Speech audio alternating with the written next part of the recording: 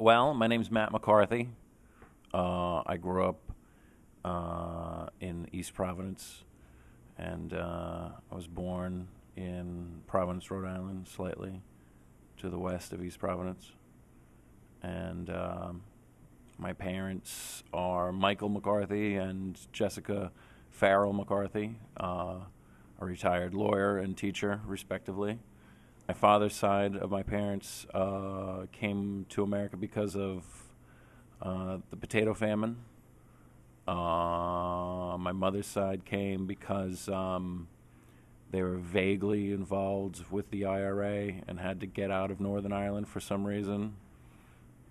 And then my, my father's side, they went to England first, and then they were treated so poorly, they went to America, uh, where I'm now being treated poorly.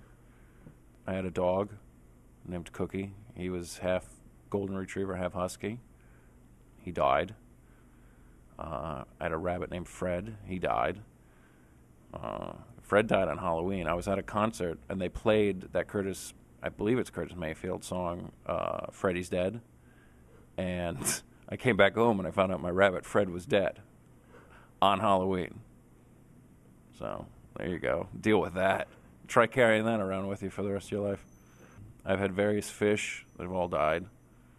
Um, when I lived up in the Bronx, one of my roommates got a cat, and about two days after he got the cat, uh, I found him sitting on the couch one morning, staring at the wall, and I said, "What's going on?" And he said, "I think I made a big mistake."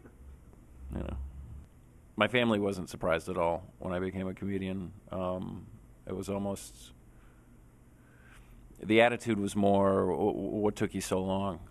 You know, that was mostly what people uh, in my life thought when I finally started doing actually performing, you know, on stage. Because I've always, you know, I've always been very extrovert, always been very silly. Um, but it's funny, st- doing stand-up comedy has uh, made me more not not more introvert, but certainly less of a an obnoxious asshole at parties. You know, I certainly, I'm certainly not, you know, standing on top of the table.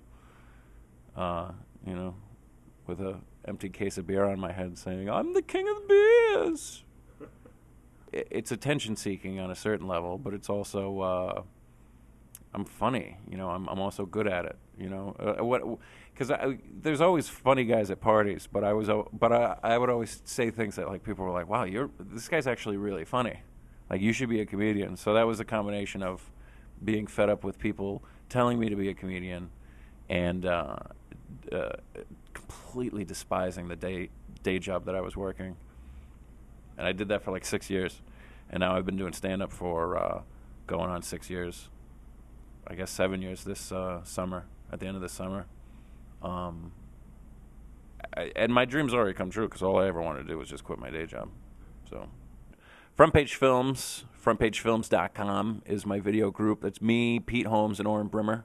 Um, we've been together for uh, a couple of years, uh, just trying to make our mark and be as funny as possible. Um, that's the best part about Front Page. Is the one thing we set out to do is be um, prolific and funny. We just want to make as many funny videos as we possibly can.